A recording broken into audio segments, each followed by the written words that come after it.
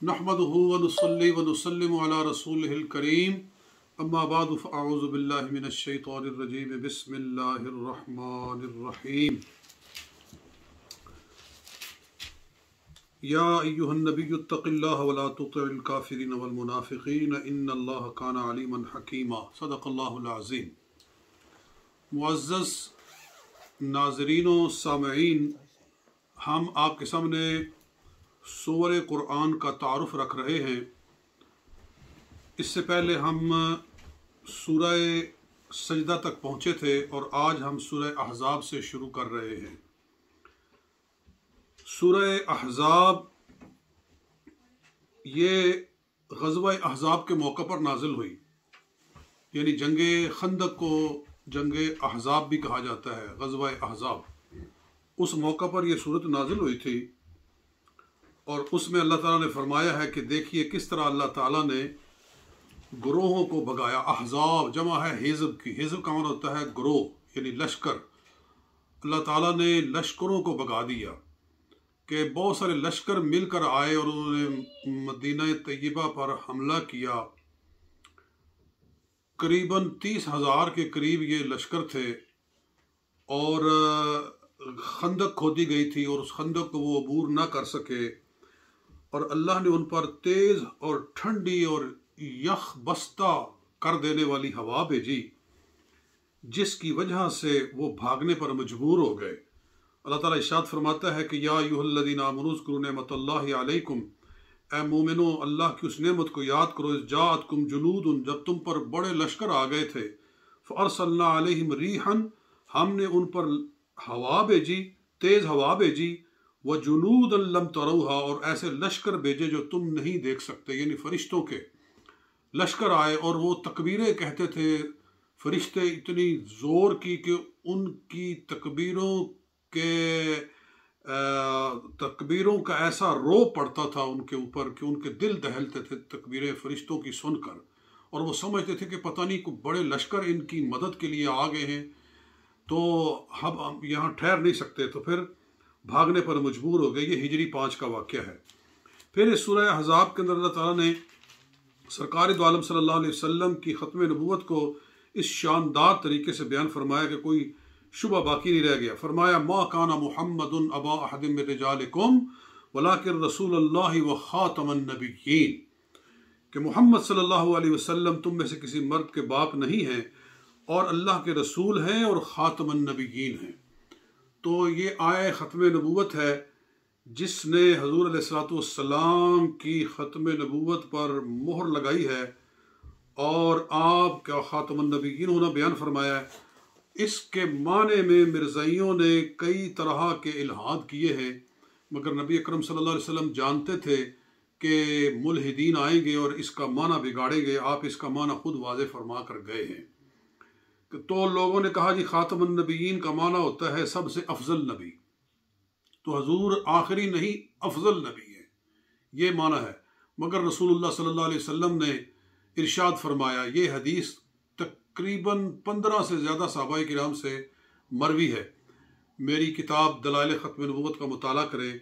मैंने एक एक सहाबी को अलग अलग लेकर फिर बयान किया है कि इस सहाबी से कितनी किताबों में हदीसें आई हैं और फलां साहबी से कितनी आई हैं, पूरी डिटेल के साथ मैंने लिखा है। तो हदीस ये है कि हजूर सलाम ने फरमाया इन नमा मसली व मसलम्बिया मिन कबली, का मसल रजुल बना दारन फ़जमलहा व अहसनहा, इल्ला मौज़िया लबिनतिन, फ़जा अन्नास यतूफ़ून हौलहा व यकूलून मा अहसनहा व मा अजमलहा, फ़हल्ला वज़ियत हाज़िहिल लबिनतु, फ़अनल लबिनतु अना ख़ातमुन्नबिय्यीन औ कमा कल रसूल सल्लल्लाहु पूरी हदीस मैंने आपको उसके अरबी अल्फाज के साथ पढ़ कर सुना दी है कि हजूर सलाम ने फरमाया कि मेरी मिसाल और पहले अम्बिया की मिसाल ऐसे है, जैसे किसी आदमी ने घर बनाया तो बहुत ही प्यारा बनाया, मगर एक जगह एक पत्थर ना लगाया। लोग आए और उसके गिरद फिर कर कहते थे कि क्या ही खूबसूरत घर है, मगर ये पत्थर अगर लग जाता तो ये घर मुकम्मल हो जाता। फरमाया फ़नल लबिना तो वह अना ख़ातमनबीन तो वो आखिरी पत्थर मैं हूँ और मैं ख़ातमनबीन हूँ। यानी मेरे लगाने से कसर नबूत मुकम्मल हो गया।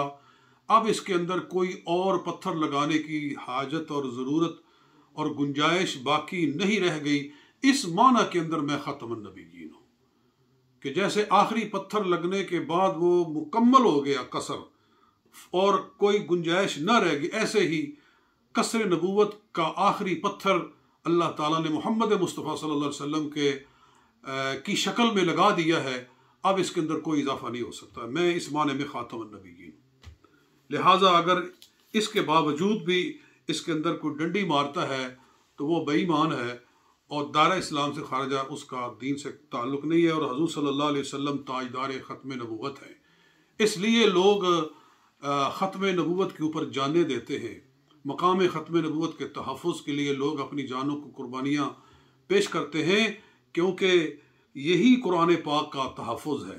कुरान ने जो फरमाया है, उसके अंदर जो कोई डंडी मारेगा तो उसको मुसलमान नहीं बर्दाश्त कर सकते। और फिर इसी सूरत के अंदर अल्लाह ताला ने दरूद पाक का तस्करा फरमाया है। फरमाया इन नबी, या आमनु सल्लु तस्लीमा ये देखो कैसी आय मुबारक है कि जैसे ही पढ़ी जाती है, फ़ौरन लोगों की ज़बानों पे दरूद जारी हो जाता है।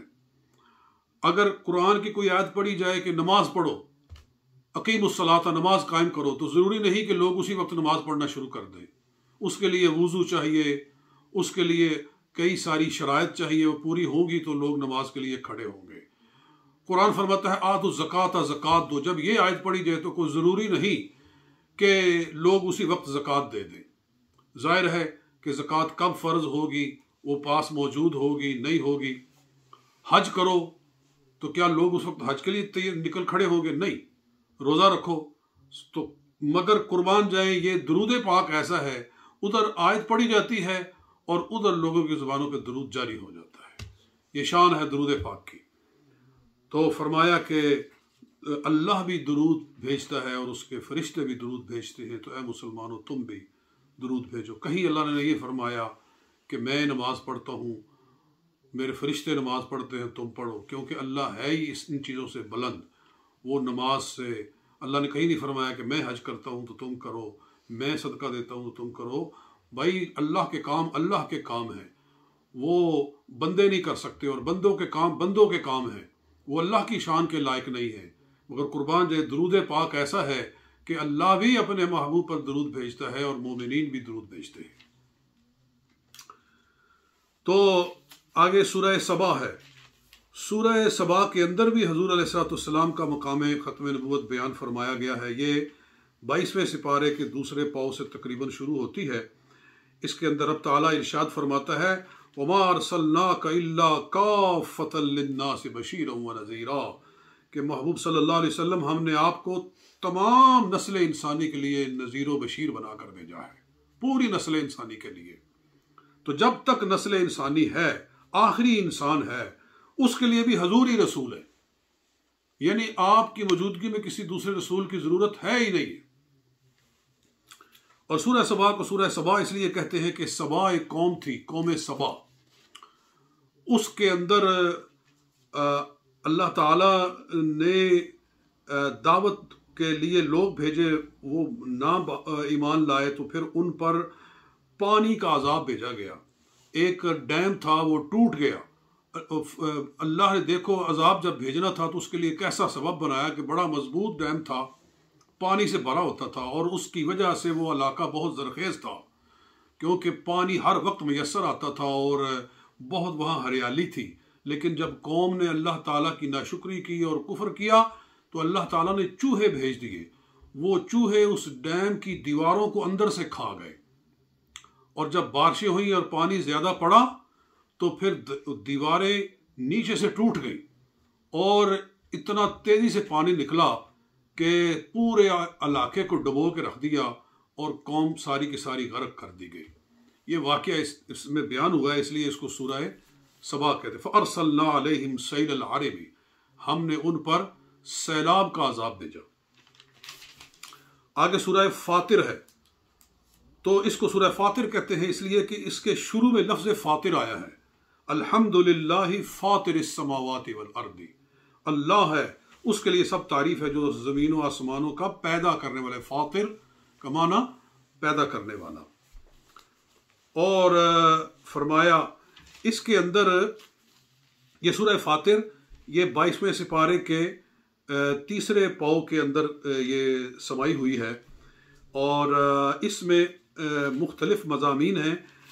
एक ख़ास मजमून में इशारा तन बयान कर देता हूँ कि रब ताला फरमाता है, मोमिनों की तीन किस्में होती हैं। न, इंसानों की तीन किस्में होती हैं। एक तो वो हैं वकुन तुम अजवाजन सलासा तुम तीन तरह के लोग होते हो। फरमाया कि कुछ तो वो होते हैं। सुम और सल किताब अल्लदीनस्तफ़ी नामिन इबादिना। फिर हमने वारिस बनाया किताब का उन लोगों को कुछ जिनको हमने चुन लिया। फ़मिन हम ालिम नफ्स ही यानी जो किताब के वारिस बने, ईमान लाए। उनमें से कुछ तो अपने नफ्सों के ऊपर जुल्म करते हैं। मुराद ये है कि वो जो वाजिबात और फ़राइज़ हैं, वो भी पूरे नहीं करते। वमिन हम मुख्तसिद और कुछ मतदिल होते हैं कि फ़राइज़ तो पूरे कर लेते हैं, लेकिन नवाफिल की तरफ़ तोज्जो नहीं करते। वमिन हम साबिकुम बिल खैरात, और कुछ वो होते हैं जो नेकियों में सबसे आगे गुजर जाते हैं। तीन तरह के हो गए। कुछ फ़राइज़ भी पूरे नहीं करते, और कुछ सिर्फ़ फ़राइज़ तक रहते हैं, और कुछ फ़राइज़ से बढ़ कर वो सुन्नतें और नवाफिल और मुस्तहबात भी नहीं छोड़ते। तो इस आया मुबारक को पढ़ के मौला अलीमरतज़ा शेर खुदा रज़ी अल्लाह तु फरमाया करते थे कि इन अबा बकर सब्बाकुल खैरात। अबू बकर वो है जो हर नेकी में सारी उम्मत से सबकत ले गए तो इस आया मुबारक के तहत जनाब सिद्दीक अकबर रज़ी की शान भी किताबों में मिलती है और वो भी ज़बान अलीमरतज़ा शेर खुदा रज़ी अल्लाह से। आगे सूरह यासीन है। सूरह यासीन को इसलिए सूरह यासीन कहते हैं कि लफ्ज़ यासीन से शुरू हुई। यासीन वल कुरान हकीम। इन नकलमिनमरसलीन के कसम है कुरान पाक की, बेशक आप रसूलों में से हैं, अला सिरात मुस्तकीम, और आप सीधे रस्ते पे चलने वाले हैं। जब रसूल वसल्लम हिजरत की रात निकले थे, अपने घर से और जनाब सिद्दीक अकबर के घर की तरफ़ जा रहे थे तो उस वक्त आप सूरह यासीन की तिलावत कर रहे थे। तो उलमा फरमाते हैं, अला सिरात मुस्तकीम, पढ़ते हुए जा रहे थे। वो इशारा लेते हैं कि मालूम हुआ जो सिद्दीक की तरफ़ जाता है, वो सीधा ही रास्ता है। और, सूरह यासीन की बरकत से अल्लाह ताला ने अंधा कर दिया कुफ़ार को जो कि हजूर के घर का मुआसरा करके खड़े हुए थे, आप उनके बीच में से गुजर रहे थे। बल्कि ज़मीन से मट्टी उठाकर आपने उनके सरों के ऊपर डाली और उनके दरमियान में से निकल गए और वो देख नहीं सके। जब हजूर निकल गए तो एक बंदा आया, कहने लगा, क्यों खड़े हो यहाँ? कहने लगे कि हम मोहम्मद का मुहासरा करके खड़े हैं। सल्लल्लाहु अलैहि वसल्लम, उसने कहा पागलो, बदबख्तो, वो तो तुम्हारे दरमियान में से गुजर कर गए हैं। तो देखा तो वो वाकई हजूर अलैहि वसल्लम जा चुके थे। यानी सूरह यासीन हिफाजत करती है और नबी अकरम सल्लल्लाहु अलैहि वसल्लम बहिफाजत उनके बीच में से निकले। इस सूरत के अंदर गुना गु अल्लाह ताला की कुदरतें और हमतें बयान फरमाई गई। और एक ख़ास चीज़ वो ये है कि वल कमर कदर ना मनाजिल, हमने चाँद की मंजिलें मुकर की हैं। हत्यादकल अर्जुल कदीम हत्या कि वो पुरानी टहनी की तरह बिल्कुल बारीक हो जाता है। यानी चाँद की अट्ठाईस मंजिलें हैं। चौदह मंजिलों में वो पूरा होता है और फिर चौदह मंजिलों के साथ वो पीछे चला जाता है। फिर या एक दिन गायब रहता है या दो दिन गायब रहता है। एक दिन गायब रहे तो महीना उनतीस का हो जाता है और दो दिन गायब रहे तो महीना तीस का हो जाता है। ये अल्लाह ताला की कुदरत है कि उसने चाँद को ऐसे बनाया है। और ये इंसान के अरूज जवाल की कहानी भी है कि इंसान बच्चा होता है, फिर बड़ा होता होता, फिर जवानी पे आ जाता है, फिर ढलना शुरू होता है और ढलते ढलते फिर वहाँ तक पहुँचता है कि बिल्कुल जिस तरह बच्चा लागर था, इसी तरह वो फिर बुढ़ापे में जाकर भी लागर हो जाता है। और अल्लाह ताला ने हमारा जो इस्लामी कैलेंडर है, उसको सूरज के साथ चलाने की बजाय चाँद के साथ चलाया है। इसीलिए ताकि इंसान अपने उरूज जवाल को भी सामने रखे, चाँद के उरूज जवाल को देख कर कि एक दिन तूने ढल जाना है उसी तरह जिस तरह के चाँद को अल्लाह ताला नीचे ले आता है। तो ये चीज़ें यहाँ ज़िक्र की गई हैं और इसमें और भी क्या क्या खूबसूरत मजामी हैं। बस हर आयत खींचती है कि जा ई जास्त, लेकिन बहरहाल मुख्तसर। एक बात ये भी सामने आ गई, वमा अल्लम ना शेर। अल्लाह फरमाता है, हमने हजूर सल्लल्लाहु अलैहि वसल्लम को शेर कहना नहीं सिखाया। वमा अल्लम ना शेरा। हमने हजूर को शेर कहना नहीं सिखाया, पोइट्री नहीं सिखाई। कुछ लोगों ने इसे दलील पकड़ी कि मालूम हुआ कि हजूर का इलम पूरा नहीं है। हजूर हर शय के जानने वाले नहीं है। लिहाजा नहीं कहना चाहिए कि हजूर सब कुछ जानते हैं। देखो, अल्लाह फरमा रहा है, हमने शेर कहना नहीं सिखाया। तो कैसे कह सकते हैं कि हजूर सब कुछ जानते हैं? इसका बहुत खूबसूरत जवाब दिया है मुफ्ती अहमद यार खान नईमी रहमत ने। आप फरमाते हैं, एक बंदा कहता है, मैंने अपने बच्चे को गाली देना नहीं सिखाया। उसका क्या मतलब है उसको पता ही नहीं गाली होती क्या है? गाली का मफहूम क्या है? भाई मतलब यह है कि मेरा बच्चा इतना पाक है कि गाली उसकी शान के लायक नहीं। चूँकि शेर के अंदर मुबालगा आरई होती है, शेर के अंदर अमूमन एग्जेजरेशन होती है। अल्लाह ताला ने अपने महबूब सल्लल्लाहु अलैहि वसल्लम को इतना सच्चा बनाया है कि शेर आपकी ज़ुबान पे जारी नहीं किए ताकि कहीं मुबालगा आरई का आपके दामन के ऊपर दब्बा ना आ जाए। वगरना ये मतलब नहीं है कि हजूर वसल्लम जानते नहीं है कि शेर होता क्या है। नहीं, नबी अकरम सल्लल्लाहु अलैहि वसल्लम शेर पसंद फरमाया करते थे और सुना करते थे और शेरों पर दाद दिया करते थे। हज़रत हसान बिन साबित को हजूर अलैहि वसल्लम ने नवाजा। हज़रत का बिन मालिक रज़ी अल्लाह को चादर अता फरमाई। तो इस तरह से करके हजूर शेर समझते हैं, लेकिन हजूर शेर कह नहीं सकते थे। क्यों नहीं कह सकते थे? इसलिए कि अल्लाह रब्बुल इज़्ज़त ने ये बताना चाहा। अगर आप शेर कहते होते तो कुफार कहते कि भाई अच्छा शायर है तो ये किताब भी उन्होंने शायरी के ज़ोर पर बना ली है। तो ठीक है, ये कोई अल्लाह का नाजल करदा कलाम थोड़ा है। अल्लाह ताला ने हजूर सल्लल्लाहु अलैहि वसल्लम को, आपकी रिसालत को हर शुबह से बुलंद फरमाया। ये बातें, फिर सूरह साफात है। तो सूरह साफात पे आज का दरस ख़त्म करते हैं। सूरह साफात में एक आयत है, लोग आजकल उसको बिगाड़ कर उसका माना पेश करें मैं ज़रा उसकी असलाह करूँ। अल्लाह फरमाता के उहशरुल्लज़ीन ज़लम वज़वाजहुम माकानु याबुदून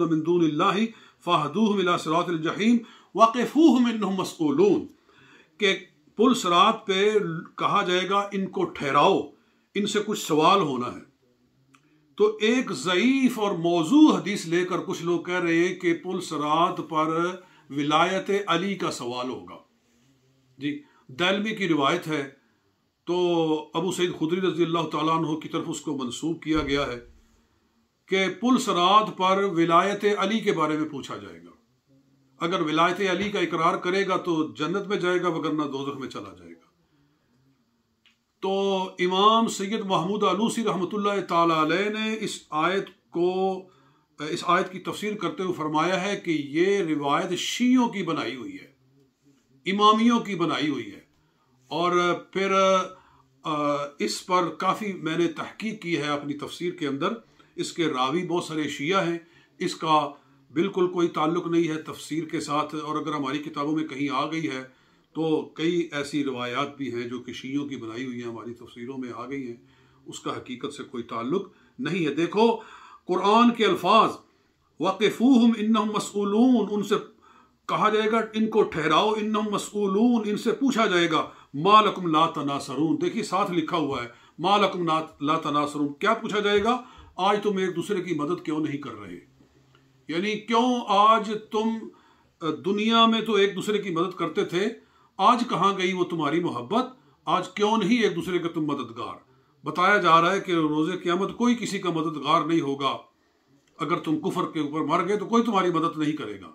यह है इस आयत का मतलब। और लेकिन अगर बिगाड़ना ही है तो फिर इंसान जिधर मर्ज़ी गुमराह होता चला जाए, फिर उसको कौन रोक सकता है? जबकि अल्फाज कुरान इसको नहीं मान रहे। तो सिर्फ़ ये नहीं कि हदीस आ गई है, हदीस को अल्फाज के साथ, कुरान के साथ जोड़ के देखो कि कुरान क्या कह रहा है और ये झूठी बनाई हुई हदीस क्या कह रही है। मौजू हदीस। तो अपने ईमान को बरकरार रखना चाहिए। तो लीजिए, ये आज का दरस है, अहकमुल हाकिमीन। हमें कुरान पाक का सही फ़हम और उसकी बसीरत अता फ़रमाए उमा अलना